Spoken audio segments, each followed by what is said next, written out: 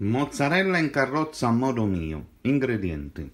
Mozzarella, prosciutto, pane per fare praticamente la mozzarella in carrozza. In questo caso qua 2-3 uova sono sufficienti, ma se ne avete 4 mettetene 4.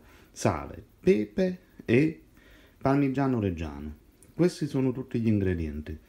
Per l'impanatura, pan grattato per la friggitura olio. Voilà. allora procedimento. Incominciate a sbattere le uova con tutti gli ingredienti che avete messo formaggio sale e pepe. Volete ancora di più? Aggiungete basilico e prezzemolo. Altrimenti lasciate stare. Tagliate la mozzarella. Tagliate una quantità di prosciutto cotto ma in questo caso potete mettere di tutto. Mozzarella mortadella mortadella mm, pancetta quello che volete. Allora, la prima cosa che si deve fare è immergere il pane in tutte e due i lati nell'uovo. Poi assicuratevi che sia bagnato tutto, ok? Incominciate a pressare un po' e mettetelo sopra al pan grattato.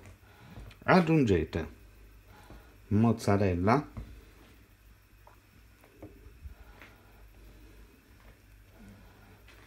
Non uscite mai da bordi perché la mozzarella si scioglierà. Nel frattempo che voi fate questa operazione potete anche cominciare a riscaldare l'olio. Quindi calcolate sempre che una mozzarella serve per fare due. Ok? Quindi aggiungiamo il prosciutto cotto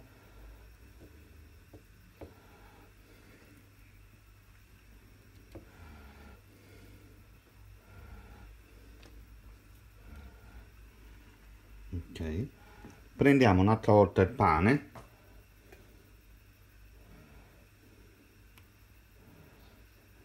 Voilà. E cominciate a mettere sopra. Non pressate ancora perché prendete il pan grattato.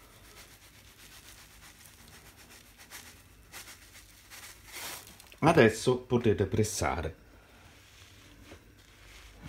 per avere una chiusura perfetta vi consiglio prima di girare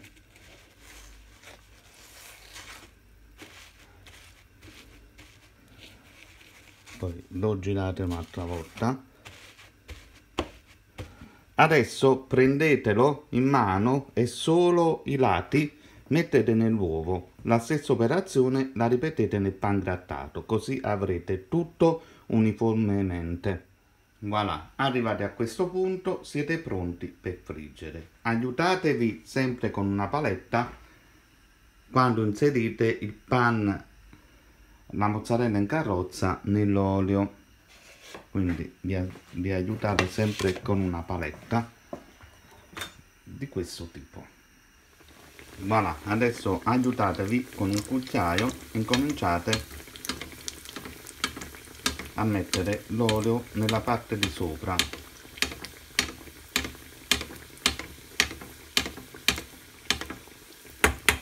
Arrivato a questo punto giratela. Voilà, ci saranno sempre questi spazi vuoti come vedete che l'olio non riesce ad arrivare nella parte di sotto e quindi fate sempre con il cucchiaio in questo modo in modo che tutte le parti vengono cotte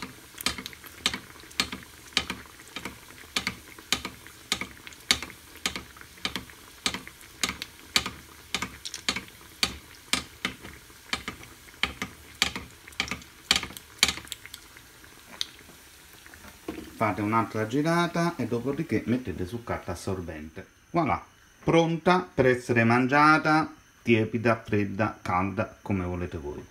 Ottima per, eh, per sostituire un pasto molto calorica quindi buon appetito a tutti da Paolo Orlando Telecaraci Mare Viaggi per il canale Ricette da Sballo